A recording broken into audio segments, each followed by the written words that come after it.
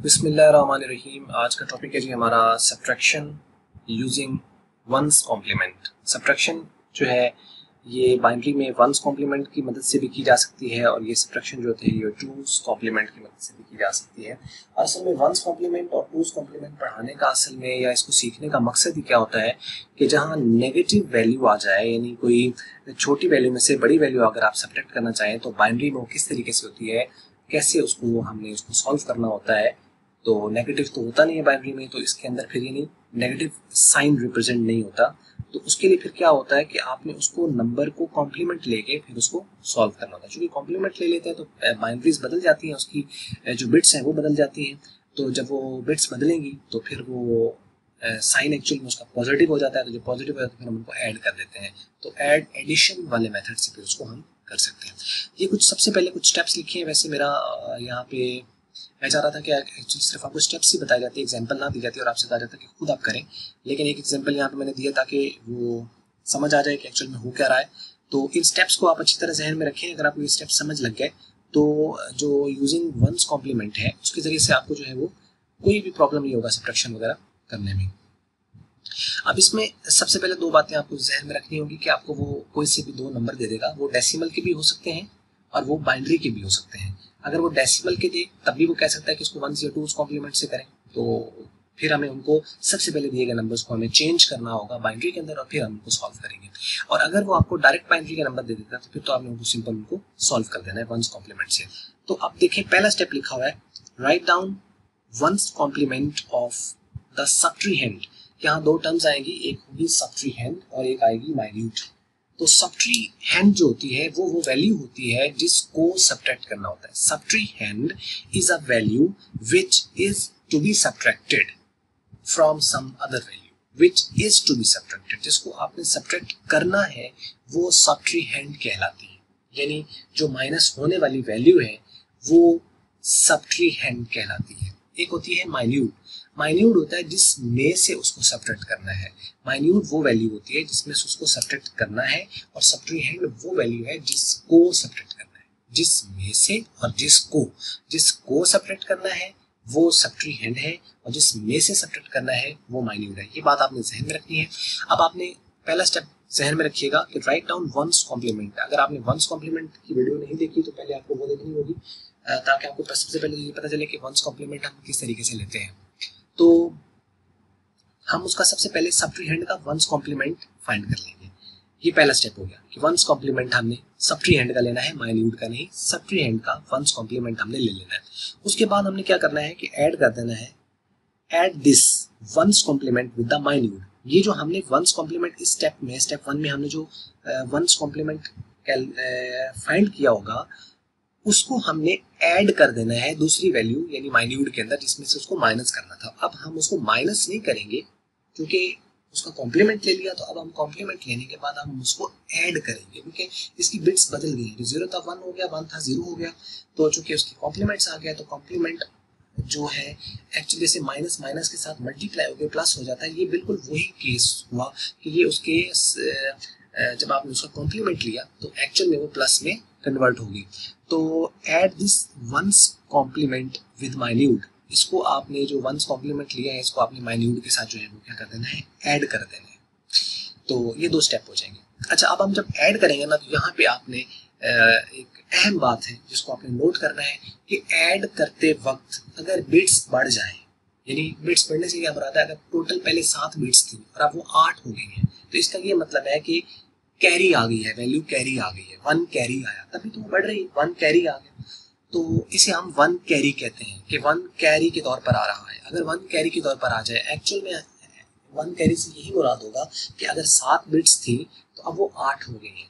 या अगर वो आठ बिट्स थी तो अब वो नौ हो गई है। या वो छः थी तो वो सात हो गई हैं। और अगर वो चार थी तो वो पाँच हो गई हैं। अगर ऐसा हो रहा है तो इसका मतलब यह है कि वन कैरी के तौर पर आ रहा है।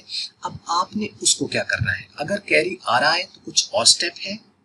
और अगर कैरी नहीं आ रहा तो फिर कुछ और स्टेप है। वो आप तीसरे वाला पॉइंट है, इसको आप गौर से देख लें।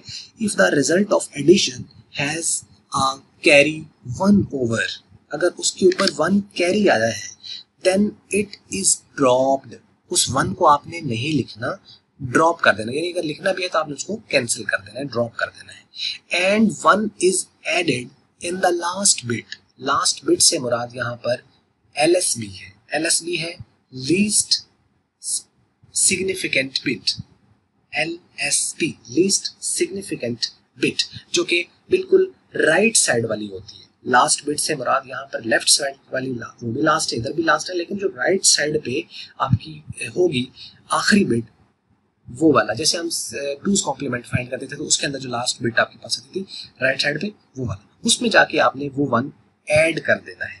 अगर ये तब करना है ऐड आपने वन ऐड तब करना है, उस रिजल्टेंट के अंदर, उस एडिशन के अंदर वन आपने तब ऐड करना है, जब आपके पास वन एज अ कैरी के तौर पर आ रहा है।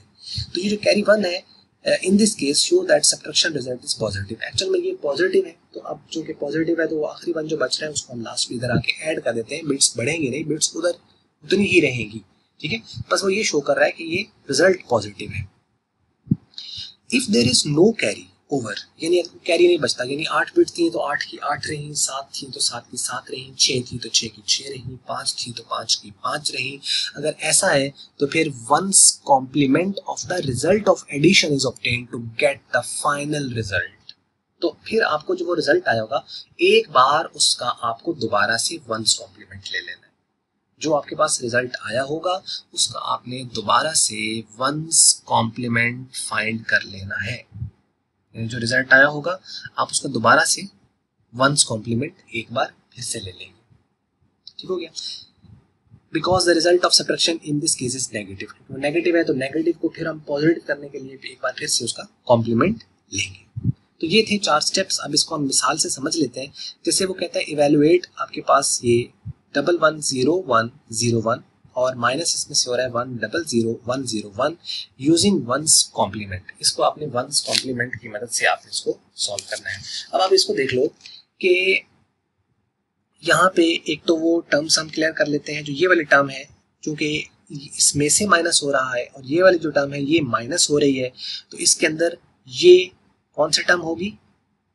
माइन्यूट ये होगी माइन्यूट और जो ये है इससे सब्ट्रैक्ट होना है ये कहलाएगी सब्ट्री हैंड ये कहलाएगी सब्ट्री हैंड तो आपने इसका नहीं सब्ट्री हैंड का, जो कि माइनस जिसके साथ आ रही है लेफ़्ट साइड पे नेगेटिव वैल्यू इसका आपने क्या कर लेना है? इसका आपने वंस कॉम्प्लीमेंट फाइंड कर लेना क्योंकि हम मेथड वंस कॉम्प्लीमेंट की मदद से हम कर रहे हैं इसको।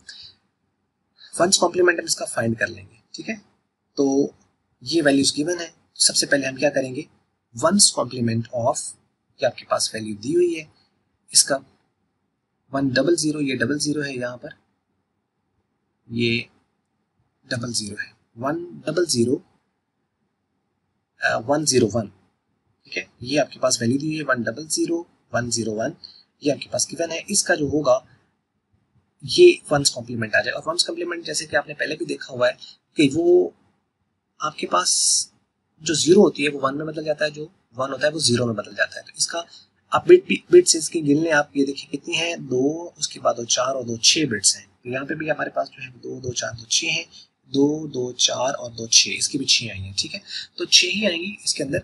तो आपने क्या कर देना है कि जो आपके नंबर दिया गया है, इसको आपने जो वन है उसको ज़ीरो में और ज़ीरो को वन में बदल देना है। तो जो वन था इसको हमने ज़ीरो कर दिया और जो दोनों ज़ीरो थे उसको हमने दोनों को वन कर दिया।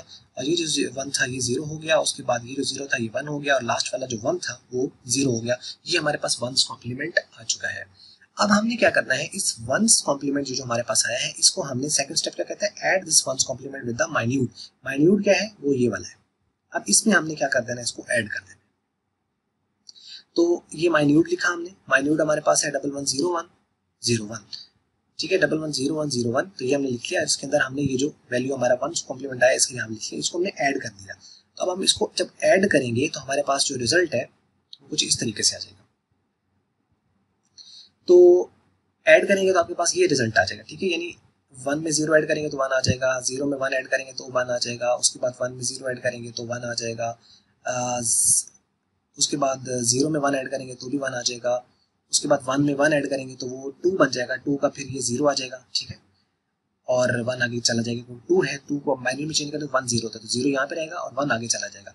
वो जब वन इस वन में ऐड होगा तो वो बन जाएगा, फिर अगेन से टू टू जो होता है वन ज़ीरो की इक्वल होता है तो वो ज़ीरो जब हम यहाँ पे लिखेंगे तो वन आगे एक्स्ट्रा बच रहा है, ठीक है? एक्स्ट्रा आपको आप अगर आपको नहीं समझ आ रहा तो आप यहाँ पे देखें कितने बिट्स हैं टोटल छह अब इन बिट्स को आप देखें, इसका जो आंसर आ रहा है कितना आ रहा है? One two three four five six और सेवन ये जो है, असल में जो सेवन ये वन आखिरी बचा है, ये वो आपका कैरी वाला वन है। ठीक है? देर इज़ वन कैरी अब हम इसे क्या करेंगे? इसको ड्रॉप कर देंगे, इस वाले वन को ड्रॉप कर देंगे and add to the L S P least significant जो बिट होगी आपके पास, इस आंसर ये जो आपके पास आंसर है इसके लिए सिग्निफिकेंट बिट कौन सी है? ये वन है। ठीक है? इसमें हम ये वन ऐड कर देंगे। तो हम क्या किया कि नीचे जब हम आए तो उसके बाद ये हमने वन ड्रॉप कर दिया है और पीछे क्या बच गया? Double zero double one double one तो double zero double one double one हमने लिखा और इसमें जो वन है, वो हमने ऐड कर दिया है। तो अब इसमें हम जब ऐड करेंगे तो ये वन प्लस वन होता है टू टू जो होता है वन ज़ीरो की होता है ज़ीरो यहाँ पे आएगा वन आगे चला जाएगा, वो फिर टू बन गया, फिर वन ज़ीरो ज़ीरो यहाँ पे, फिर ज़ीरो यहाँ पे ज़ीरो यहाँ पे ऐड होते होते थे फिर आखिर पे जो है ये ज़ीरो इसमें वन आ जाएगा और ये लास्ट वाला ज़ीरो एज इट इज़ आ जाएगा। तो ये आपका फाइनल आंसर आ जाएगा। यानी वन आप इसमें ऐड करेंगे। तो, तो अब ये एग्ज़ाम्पल से बात मेरे ख्याल में आपको क्लियर होगी होगी। अगर आपको बात समझ आई है तो अब आप इस स्टेप्स को जरा एक बार फिर देख लें कि सबसे पहले हमें अगर वंस कॉम्प्लीमेंट से सब्ट्रैक्शन करनी है तो हमें क्या करना होगा कि सबसे पहले उसका वंस कॉम्प्लीमेंट ले लेना है। सब्ट्री हैंड का लेना है माइन्यूट का नहीं लेना। सब्ट्री हैंड वो वैल्यू होती है जिसको माइनस करना होता है जिसके साथ माइनस का साइन आता है लेफ़्ट साइड पर। ठीक है? तो ये आपके पास यहाँ पे उसका जो है वो हम वंस कॉम्प्लीमेंट फाइंड कर लेंगे, उसके बाद फिर हम ऐड करेंगे इस वंस कॉम्प्लीमेंट को उसके माइन्यूट के अंदर। दोनों यानी जो वैल्यूज़ दी होंगी, फिर इनको माइनस नहीं करेंगे, फिर हम इनको ऐड कर देंगे। अगर रिज़ल्ट आपके पास जो है वो कैरी वन के तौर पर आ रहा है तो फिर हम उसको ड्रॉप कर देंगे और वन जो होगा, वो लास्ट बिट जो होगी रिज़ल्ट की, उसमें हम ऐड कर देंगे। और अगर कोई कैरी नहीं आ रहा तो फिर उसका हमें वंस का कॉम्प्लीमेंट सपोज़ करें यहाँ पे वंस ना बचता जो कैरी के तौर पर आपके पास आ रहा है, वो अगर ना आता तो फिर हमें उसी वैल्यू का जो रिजल्टेंट था, उसी का हमें दोबारा से वंस कॉम्प्लीमेंट लेना था, क्योंकि वैल्यू नेगेटिव में थी। ठीक हो गया? तो बात मेरे ख्याल में आपको ये समझ लगी होगी, और अगर आपको बात समझ लगी है तो वीडियो अच्छी लगी है तो उसको आप लाइक कर लें, और अच्छी नहीं लगी तो उसको कर लें डिसलाइक और वीडियो देखने का हमेशा की तरह आपका बहुत बहुत शुक्रिया।